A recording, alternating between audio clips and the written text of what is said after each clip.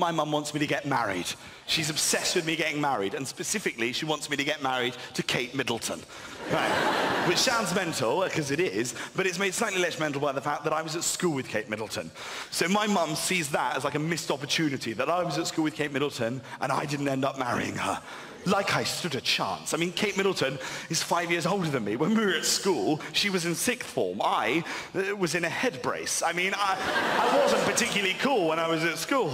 But she gets annoyed at me now. She thinks it's my fault. She gets annoyed at me all the time and always brings up the Kate Middleton thing. Like the other day, I was staying at her house, right? I'd taken off all my clothes to get into bed. I'd thrown a couple of them on the floor. There was a pair of my boxer shorts on the floor in which was the tiniest weeny little skid mark. I mean, you could barely see mother walks in with a laundry basket, scoops it up. She's like, that's why Kate didn't want you.